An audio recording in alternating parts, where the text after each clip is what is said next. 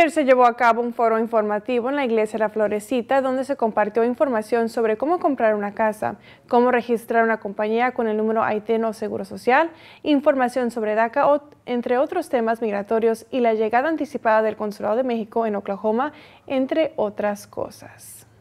Este tipo de eventos lo hacemos para ah, lo hacemos de propósito para que la comunidad se, se nutra de información y para que el día de mañana no, sean engañados o estafados o que tengan que pagar por un servicio que, al fin de cuentas siempre el servicio son, son gratis y pues ese, ese es el foro. Ah, nos pueden buscar en la página Immigrant Connection Empowerment en Facebook. Ah, también en la página Mexicanos en Oklahoma City o también ah, pueden comunicar el número de teléfono es 405 628 5839.